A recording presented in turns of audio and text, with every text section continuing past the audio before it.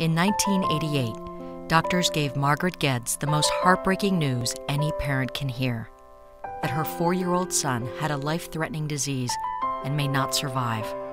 After enduring two bone marrow transplants and spending hundreds of days thousands of miles away from the support of family, friends, and community, nine year old John Robert Voigt died, and Kids Beating Cancer was born.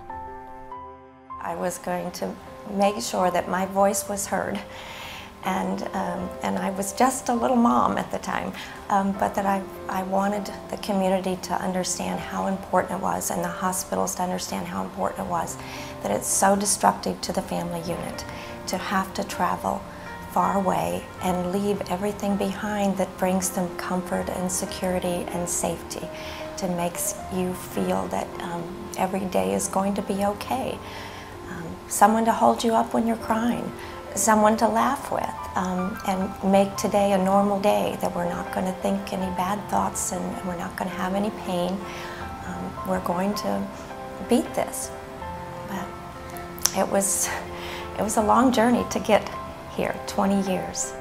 Along the way, the tireless passion and enthusiasm of Margaret Geddes has been an inspiration to those around her, volunteers and patients alike.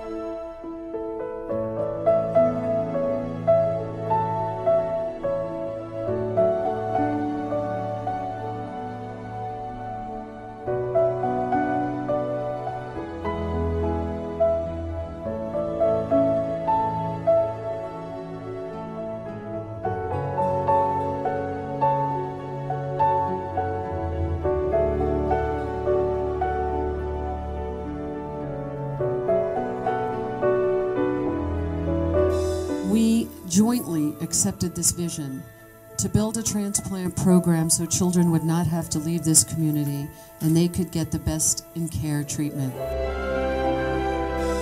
We made our million dollar pledge to Florida Hospital for Children so that these kids could access that treatment exactly when they need it without any delays.